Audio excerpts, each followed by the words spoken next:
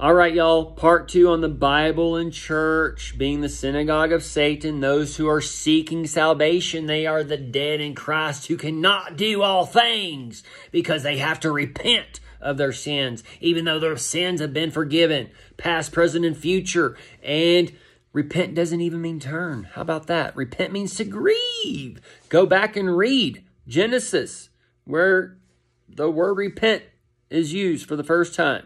The law of first mention We'll tell you that you're wrong about repentance.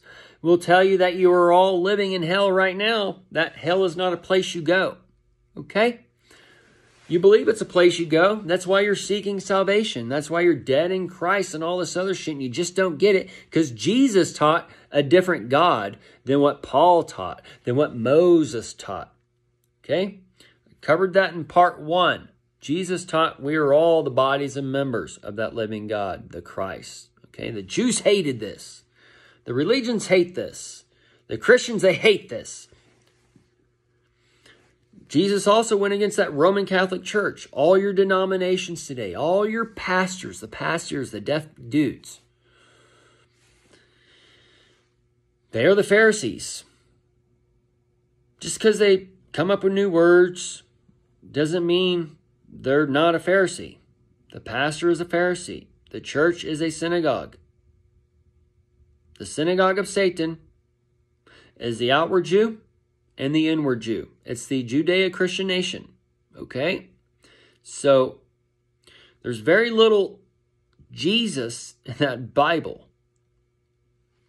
It's the history of the Jews, the history of the Baal worship, the history of the outward Jew, the history of the inward Jew, and the history of Jesus and the prophets going against the church going against the religions, going against the Jews.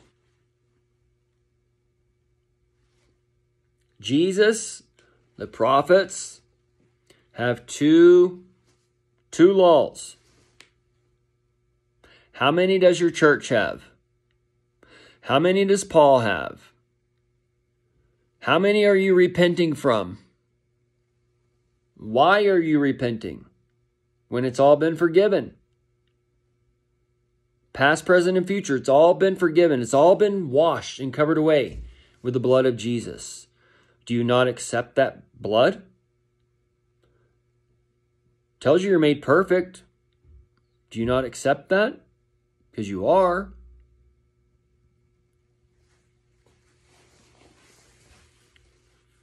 You can be. Obviously, you're not going to be that perfect eating Cheetos and bonbons.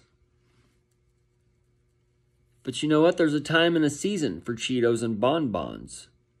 And it's called maybe a picnic or a special occasion or whatever. Okay? There's foods and food. One gives you life, and one acts like it gives you life. One gives you life like um, abundance in your temple, and then one gives you life as far as like, oh, I'm cool eating this or drinking this.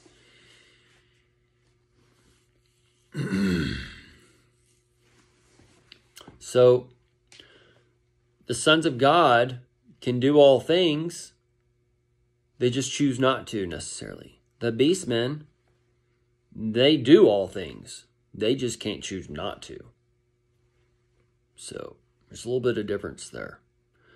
Um, so Jesus grew up in the Roman Empire or walked around in the Roman Empire time. You got the Greek. That's your uh, Kamala. Or, I mean, sorry, the Greek is Biden. The Latin is Kamala. And the ten heads and the no heart and shit like that or whatever. Um, well, the people who, the tin man who rise against the Kamala will be the no heart man, and that's the people in the church. All right, because that's why they're all filled with hate and they're going to rise up and kill people. Um, they're the anti. They're going to be the antichrist. In a way, there's many antichrists, and, and knowing that man is the Christ, and these people are going against us, they're anti-man. They're anti the living God, And they've done that either through this method or through the magazine coming and all those other things. So the Aramaic, may, the, the Aramaic is the Aram Mike, all right, um, or the Aram I see. Um,